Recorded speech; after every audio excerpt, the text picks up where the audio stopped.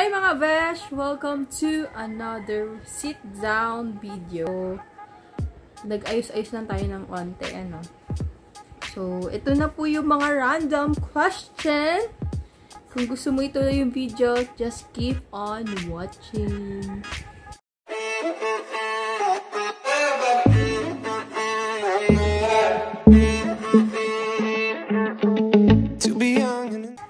So, dito muna tayo sa dulo. Ang first question is from Abigail Pantilanan. Uh, kawork ko siya before. Okay. Bakit maraming problemadong kapitbahay sa Pinas kesa sa kesa siguro sa magiging masa, masaya? Kasi kesa sa masasaya. Ang gulo ng tanong. Okay. Siguro marami talagang problemadong kapitbahay ngayon. Kasi siguro dahil sa pandemic na rin. Siguro yung sa part na tanong niya is, kesa sa masasaya, siguro, pinoproblema nila yung buhay ng ibang tao. Kesa na lang sa maging masaya. Siguro yun yung tanong niya.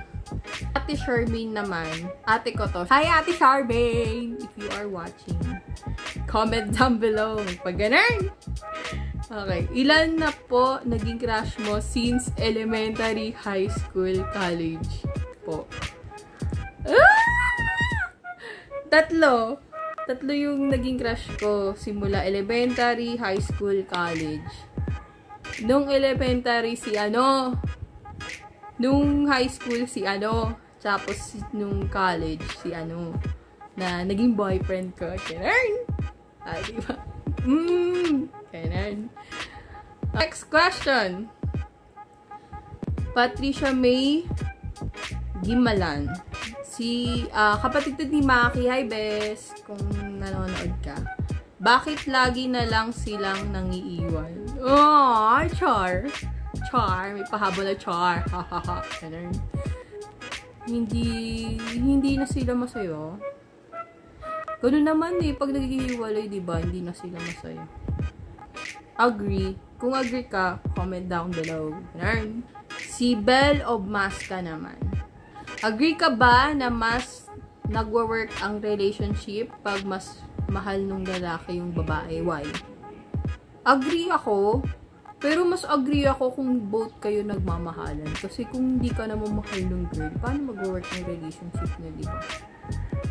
Pero siguro mas maganda kung both. Hindi ako agree. I don't agree on that thing. Pero kasi 'di ba, ang lalaki ang nagbibigay ng motibo sa girl. So si girl, syempre, 'di ba, mafo-fall naman siya. May agree na may part na hindi. Siguro ganun. Ikaw na bahala sa ano ko, sagot ko. Yan Zares, May, si Bing. Hi Bing. Ay! Ito yung tanong niya. Kailan kayo ikakasal? Grabe yan tanong. Siguro pag okay na yung ano, pag stable na talaga, hindi kasi ako nagmamadali. Hindi, hindi ako nagmamadali.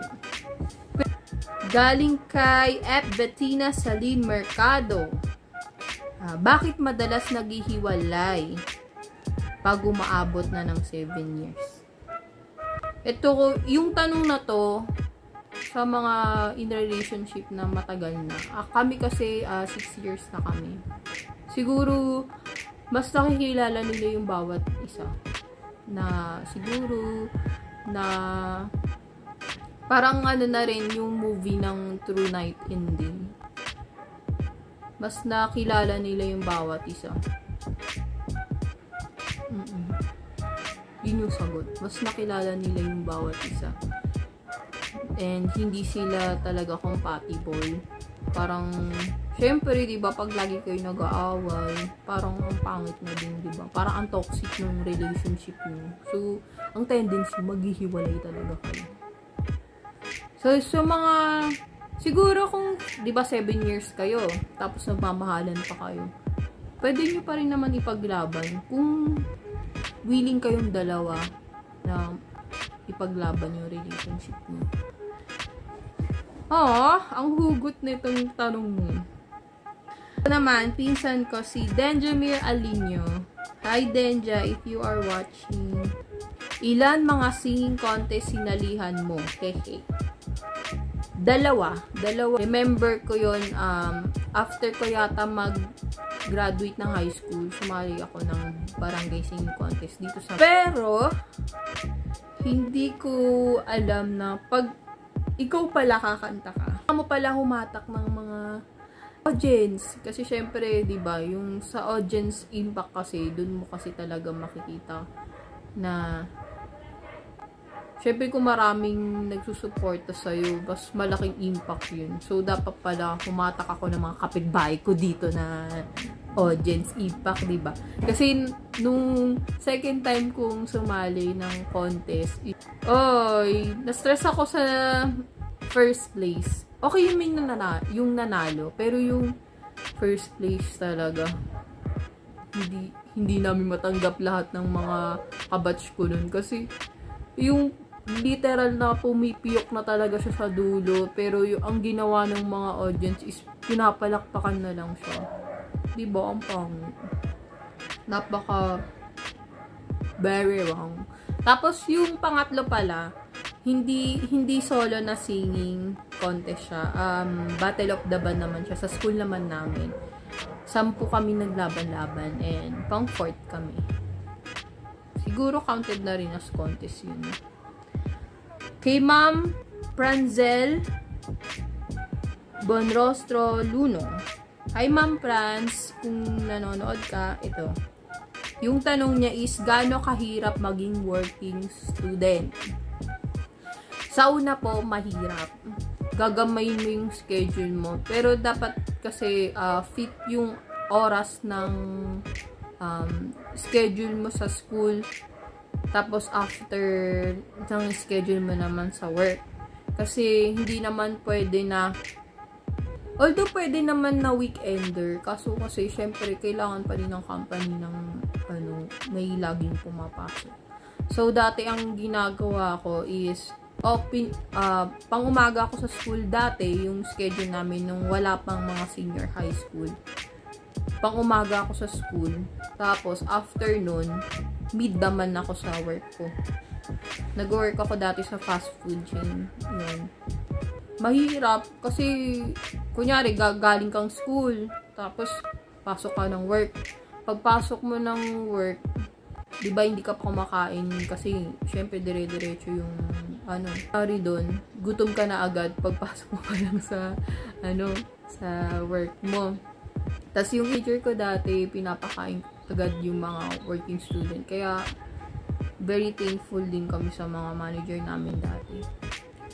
Tapos yung nagkaroon ng senior high, yun yung mas mahirap. Kasi kailangan aga ako sa uh, work. Tapos after nun sa school na. Yun yung pinakamahirap kasi ano eh, parang wala ka ng energy kasi lahat ng lakas mo binus mo na lahat sa work. Kaya parang challenging din yung time na nagkaroon ng senior high. Tapos lalo na yung graduating ako kasi syempre nagkaroon nga ng sakit yung mami ko dati. So, ayun, nag basta rumble-rumble na ganun. Pero okay lang naman maging working student basta yung time management talaga. Time management. Si Maria Felicity, ito naman pamangking ko to. Sino ang pinaka mabait sa inyong tatlo ni mama? Okay. Yung, yung mama kasi nila is yung panganay namin, si Ate Charmaine. Sunod si Ate Dayan, tapos ako naman yung bunso. So, Tres Marias talaga kami. Siguro sa pinakamabait si Ate Dayan. Pero, kung sa pinakamataray, yung mataray, si Ate yung pinaka panganay namin. si Sophia Torrente. Hi Sophia, if you are watching, uh, anto, classmate ko siya ng college. What would you tell to your future self? Hi, future self! Hindi pa ganun. Hi, future self! Uh, kung nanonood ka, thank God Buhay ka pa! so amazed. Buhay ka pa, girl, na lagpasan mo yung COVID. COVID-19 season na to. So, kung nano, pinapanood mo ulit to ngayon, you're super blessed kasi um, complete kayo ng family mo. Tapos, it easy and take it smoothly, okay? Kaya mo yan. Kahit yan is masyadong struggle is real talaga, kayang-kaya mo yan. Kasi di ba kagaya kay Kong, parang nag-self, ano siya, na yayaman. Siguro mayaman ka na ngayon. Charot! Pero, di ba, what if, di ba? Yun lang. Okay, kay Tinay Tinapay. Um, ito naman, classmate ko din siya nung college. Okay lang ba magpanggap na maging okay kahit hindi ka naman talaga okay? Ito, ano ah, sa mga HRM, sa mga hospitality industry dyan, nakagaya ko. Ano to eh, gawain natin to eh pagdating sa, ano eh, service. Kahit bad trip na bad trip ka na sa, alam mo yun, sa paligid mo, kailangan mo maging okay. Ayun, professionalism na lang din. Kasi, Ewan ko, siguro ko sa sarili, unlike ngayon din, hindi ako okay. Kasi syempre, COVID season na to, ang hirap talaga. Ang hirap talaga kasi, lalo na ngayon, ako, HRM ako, pero, alam mo yun, sa industry natin kasi ngayon, ang hirap kasi, lahat talaga damay. Nakakalungkot na lang talaga. And another question pa ulit kay Tinay. Paano mo masasabing kontento ka na sa isang tao? Kontento ka na sa isang tao pag hindi ka na naghahanap pa ng iba, hindi ka pa nag, hindi ka naghahanap ng ibang attention sa iba. Kasi kagaya sa amin ng boyfriend ko. Pag gusto ko siya kausap, andyan siya. Pero yung yung sinasabi kasi dito is contentment eh. 'di ba? Wala, hindi wala ka nang naiisip na iba. Feeling ko yun yun. Wala ka nang naiisip na iba. Gusto mo na lang din isipin yung sa picture ng dalawa. Yun. Kay Jopper Sanga naman, kapatid, naniniwala ka ba sa may for na may forever kapatid? Sabi niya. Walang forever in realistic ah, walang forever kasi lahat naman tayo ma-dedads, diba? Pero, oo, may forever kasi syempre, diba sabi nila, into infinity hanggang mamatay ka. Pero, siguro nga may forever. Siguro yung forever na lang, kunyari, kami ng boyfriend ko, kung magkatuloyan kami, kung kasal kami. Parang yun na yung forever tumanda kayo magkasama. Yun yung forever. Pero kung realistic talaga na tawag dito, sabihin mo na hanggang parang di ako naniniwala sa part na yun. Kasi parang tayo nga, ipagtulog eh, tayo, wala na tayong nararamdaman, di ba? Pero parang inrealistic lang. Ang tanong naman ni Ate Dayan, my last question. Sino mas maganda sa atin? Ako o ikaw? Tinatanong pa ba yan? Siyempre ako. Charot. Hindi, mas maganda siya. Kasi ano eh, mas magaling siyang umorma. Unlike sa akin. Sabi niya nga sa akin, pag mag-vlog ako ngayon, mag-ano daw ako, mag-outfit, ganun. Pero sabi ko, ayoko, wag na lang. Mag-t-shirt na lang ako. So, ayun lang. Ayun lang ang mga tanong nyo. Maraming salamat sa mga nagtanong.